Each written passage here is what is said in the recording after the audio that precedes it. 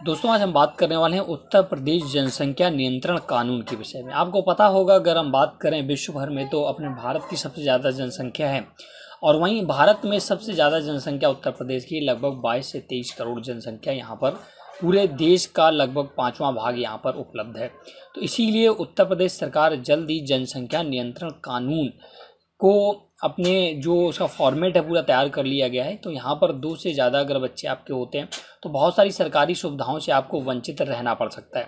आज इसकी शुरुआत उत्तर प्रदेश के मुख्यमंत्री योगी आदित्यनाथ जी करने वाले हैं। मैं आपको पूरी डिटेल के साथ बात करूँगा, पूरा डिटेल बताऊँगा कि उत्तर प्रदेश जनसंख्या नियंत्रण कानून क्या है और साथ साथ इसमें किन किन लोगों को सरकारी जो सुविधाएँ हैं, वंचित किया जाएगा। तो बने स्टूडियो में। लगातार मैं हूँ पवन झाकड़े और आप देख रहे हैं अपना चैनल हेल्प इन हिंदी। अगर आपने अभी तक हेल्प हिंदी चैनल को सब्सक्राइब नहीं किया है तो ज़रूर कर लें। साथ साथ वेल आइकन ज़रूर दबा दें। इससे मेरे आने वाले सभी वीडियो आप लगातार देख सकें। दोस्तों, फुल डिटेल जानने के लिए आपको आ जाना अमर उजाला की ऑफिशियल वेबसाइट पर। देखिएगा, यहाँ पर एक लिंक दिया हुआ है। यूपी सीएम योगी आज करेंगे नई जनसंख्या नीति का विमोचन। बिल का मसौदा तैयार। यहाँ पर आप देख सकते हैं, दो से ज़्यादा बच्चे हुए तो नहीं मिलेंगी ये सुविधाएँ। अब जिन लोगों के दो से ज़्यादा बच्चे होंगे, उन्हें कई सुविधाओं से वंचित होना पड़ सकता है। मसलन ऐसे लोग सरकारी नौकरी के लिए, आवेदन के लिए अपात्र माने जाएँगे।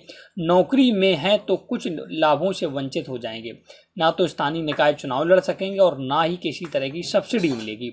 यह प्रावधान उत्तर प्रदेश जनसंख्या विधेयक 2021 के मसौदे में किए गए हैं। उत्तर प्रदेश जनसंख्या नीति 2021 से 30 का शुभारंभ आज मुख्यमंत्री योगी आदित्यनाथ करेंगे। इसी के साथ प्रदेश में परिवार नियोजन को प्रोत्साहित करने के लिए जनसंख्या, स्थिरता, पखवाड़े की गतिविधियाँ भी शुरू कर, हो जाएँगी। इस मौके पर 11 B S L two R T P C R lab और C H P H C app का भी मुख्यमंत्री शुभारंभ करेंगे।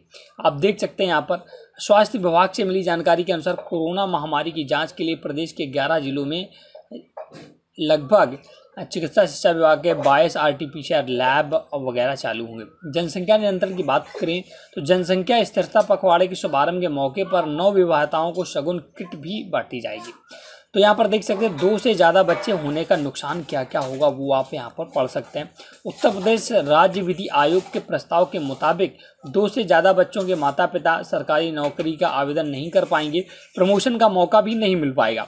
सशस्त्र सरकारी योजनाओं व अनुदान का लाभ भी नहीं मिलेगा, साथ ही स्थानीय निकाय चुनाव भी नहीं लड़ सकेंगे। नहीं लड़ने समेत कई तरह के प्रतिबंध लगाने की सिफारिश की गई है। इसके लागू होने पर एक साल के अंदर सभी सरकारी अधिकारियों और कर्मचारियों को शपथ पत्र देना होगा। इसके अलावा स्थानीय निकाय में चुने जनप्रतिनिधियों को शपथ पत्र देना पड़ेगा। वह इसका उल्लंघन नहीं करेंगे। कानून लागू होते वक्त उनके दो ही बच्चे हैं। शपथ पत्र देने के बाद अगर तीसरी संतान पैदा करते हैं तो प्रतिनिधित्व का निर्वाचन रद्द करने का प्रस्ताव है। साथ ही चुनाव न लड़ने का प्रस्ताव भी देना होगा। वहीं सरकारी अधिकारियों और कर्मचारियों का प्रमोशन बर्खास्त करने की सिफारिश की गई है। तो दोस्तों, बहुत ही बड़ा अगर ये नियम, जनसंख्या नियंत्रण कानून उत्तर प्रदेश में लागू करती है सरकार तो बहुत ही बड़ा चेंजमेंट होने वाला है आने वाले समय में, क्योंकि ज़्यादातर लोगों के बच्चे दो से अधिक हैं और आने वाले समय में जनसंख्या पर ज़रूर नियंत्रण होगा अगर ये कानून आता है। हालाँकि देश के विकास या प्रदेश के विकास के लिए ये चीज़ें बहुत ही आवश्यक हैं, क्योंकि नियंत्रण बहुत ही ज़रूरी है, क्योंकि उत्तर प्रदेश में सबसे ज़्यादा जनसंख्या है अगर हम विश्व भर के राज्यों की बात करें तो उत्तर प्रदेश इतना बड़ा राज्य है कि शायद बहुत से ऐसे देश हैं जहाँ पर उससे कम भी जनसंख्या पाई जाती है।